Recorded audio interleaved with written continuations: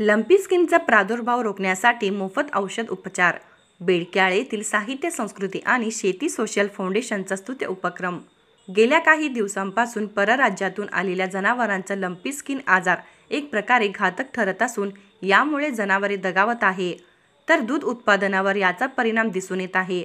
तेव्हा या आजाराचा प्रादुर्भाव रोखण्यासाठी पशुवैद्यकीय खात्याकडून प्रयत्न चालूच आहेत. पण बेडक्या येथील समाजहित जोपासणाऱ्या साहित्य संस्कृती आणि शेती सोशल फाउंडेशनच्या वतीने हा आजार रोखण्यासाठी कृषी पंडित सुरेश देसाई यांच्या प्रयत्नाने होमिओपॅथिक गोळ्या औषधोपचार मोफत वितरण करण्यात येत असून याचा शुभारंभ बुधवार तारीख एकवीस रोजी इनामदार सरकार वाड्यातील विजयराव इनामदार सरकार यांच्या दोन म्हैशींना देऊन औषधोपचाराचा शुभारंभ करण्यात आला. विजयराव इनामदार सरकार यांच्या अध्यक्षतेखाली झालेल्या या कार्यक्रमाप्रसंगी फाउंडेशनचे उपाध्यक्ष अभयकुमार खोत ज्येष्ठ सदस्य बंडाकाका जोशी गणपतराव निंबाळकर सुरेश गोने संजय देसाई यांच्या प्रमुख उपस्थित झालेल्या या कार्यक्रमाप्रसंगी स्वागत व प्रास्ताविक हसन मुल्ला यांनी केले.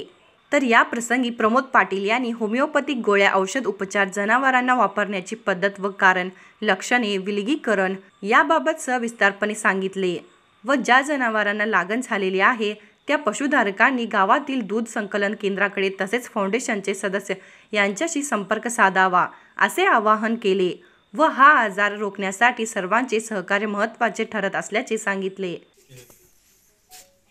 नमस्कार.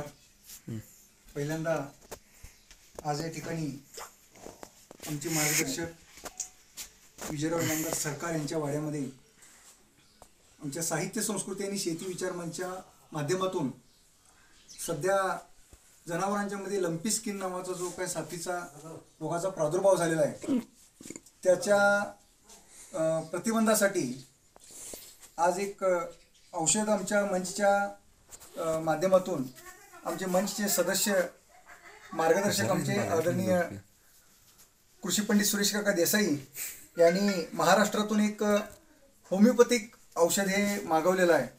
तर जनावरांना प्रादुर्भाव होऊ नये म्हणून काळजी घेण्यासाठी प्रतिबंधात्मक एक औषधाचं या ठिकाणी आम्ही आज मोफत वाटप करणार आहे.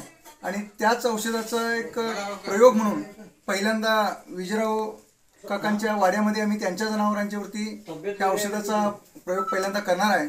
तर या कार्यक्रमासाठी उपस्थित असलेल्या आपल्या सर्वांचं पत्रकार मंडळी आणि या ठिकाणी भागातील आमचे जे सर्व साहित्य संस्कृती शेती विचार मंचचे सर्व सदस्य आणि त्याच पद्धतीने साहित्य संस्कृती शेती विचार मंचच्या प्रत्येक कार्यावरती प्रभावित असणारे सर्व भागातील मंडळी यांचं सगळ्यांचं मी या ठिकाणी स्वागत करतो.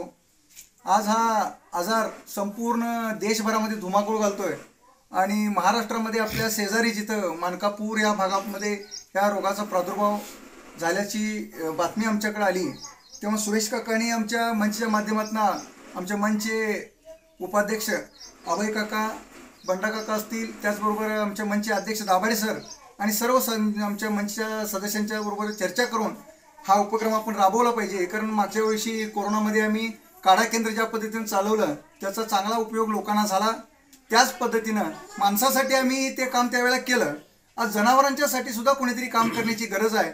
म्हणून जनावरांच्यासाठी त्यांच्या आरोग्याची देखभाल करण्यासाठी म्हणून हे एक प्रतिबंधात्मक औषध आमच्या हाती जे आता मिळालेलं आहे त्याचा उपयोग या भागातल्या सर्व शेतकरी बांधवांना त्यांच्या जनावरांना या आजारापासून वाचवण्यासाठी व्हावा हा एक हेतू ठेवून आम्ही या मंचच्या माध्यमातून हा कार्यक्रम या ठिकाणी हाती घेतलेला आहे. आणि संपूर्ण भागातील शेतकऱ्यांना आमची विनंती आहे की हे औषध आमच्याकडे उपलब्ध झालेलं आहे. ज्यांना याची आवश्यकता आहे त्यांनी आवश्यकता म्हणण्यापेक्षा सगळ्यांनीच याचा वापर करावा आणि आपल्या जनावरांना ह्या आजारापासून मुक्त करावं असं मी या ठिकाणी विनंती करतो. आणि ह्या औषधाची ज्यांना गरज भासेल त्यांना आमचे कॉन्टॅक्ट नंबर आम्ही पाठवतो व्हॉट्सअपवरती आणि तुमच्या माध्यमातून. तर विजयराव इनामदार म्हणाले सध्या जिकडे तिकडे पशुधारक लंपी स्किन या संसर्गिक रोगामुळे अडचणीत सापडला असून याची तातडीने दखल घेऊन सुरेश देसाई यांच्यासह फाउंडेशनच्या कार्यकर्त्यांनी विशेष वस्तू ते उपक्रम राबविला आहेत. आणि अगोदरच केलेला बरा.